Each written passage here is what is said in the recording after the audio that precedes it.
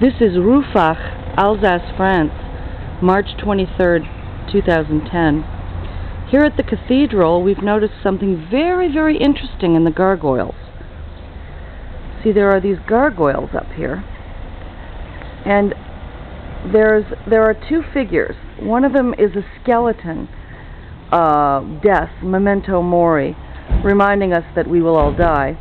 But it's a very curious skeleton because you can actually see it in a state of decay. Um, you can see its bowels and everything.